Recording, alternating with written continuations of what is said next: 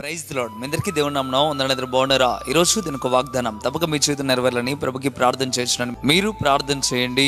నీ భారము యహోవ మీద మోపము. ఆయన్ని నిన్ను ఆదుకును కీర్తన గ్రంథం యాభై ఐదవ అధ్యాయం ఇరవై రెండవ వచ్చిన ప్రభుని దినములారా దేవుడి ఉదయకాల సమయంలో నేరుగా నీతో మాట్లాడుతున్న మాట. ఏమంటున్నాడో తెలుసా? నీ భారము యహో మీద మోపము ఆయన నిన్ను ఆదుకును అని చెప్పడం ప్రారంభిస్తూ ఉన్నాడు. నీ భారాన్ని నువ్వే మోసుకుంటూ వస్తూ ఉన్నావా?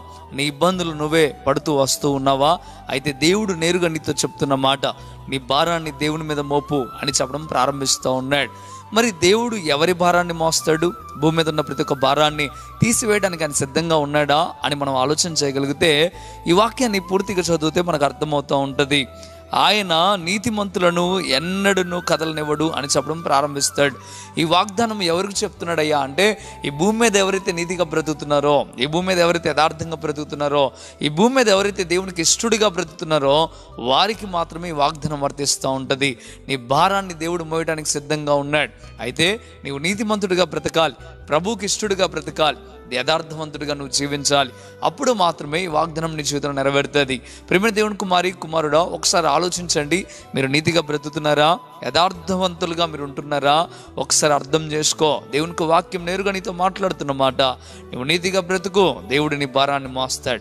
నీ సమస్యల గురించి నువ్వు ఆలోచించాల్సిన అవసరం లేదు. నీ కష్టాల గురించి నువ్వు ఆలోచించాల్సిన అవసరం లేదు. నీ ఇబ్బందుల గురించి నువ్వు ఎంత మాత్రం కూడా ఆలోచించాల్సిన అవసరం లేదు.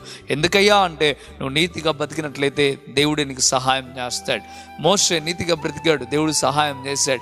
అబ్రహాం నీతిగా బ్రతికాడు దేవుడు సహాయం చేశాడు. నోవాహు నీతిగా బ్రతికాడు దేవుడు సహాయం చేశాడు. ఎంతో మంది భయభక్తులు కలిగిన వారు ఎంతో మంది కూడా నీతిగా బ్రతికారు. అందుకే దేవుడు వారి పట్ల సహాయం చేస్తూ ఆయన ఎంతగానో వారి భారాలను దేవుడే మోస్తూ నడిపించాడు. ప్రేమని దింపులారు ఒకసారి ఆలోచించండి. మీరు కూడా నీతిగా బ్రతకండి. ఈ ఉదయకాల సమయంలో ఒక మంచి నిర్ణయానికి రండి. దేవుడు తప్పక మీకు తోడుగా ఉండి నడిపిస్తాడు దీవిస్తాడు ఆశీర్వదిస్తాడు.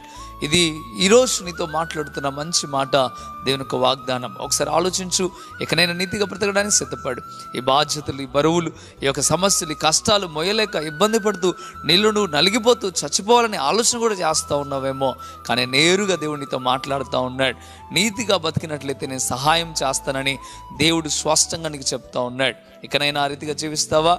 అయితే ఈ వాగ్దానం తప్పక నీ జీవితంలో నెరవేరుతుంది. ఒకవేళ ఆ రీతిగా జీవించకపోతే ఖండితంగా చెప్పగలను ఈ వాగ్దానం మీ జీవితంలో నెరవేరదు. మంచిది ప్రార్థన చేద్దాం ప్రార్థన. పరిశుద్ధుడా గొప్ప దేవుడ మీకు లెక్కలేని స్తోత్రం నైనా అయా నిబిడలను బిడ్డలను జ్ఞాపకం చేసుకునండి దీవించండి ఆశీర్వదించండి.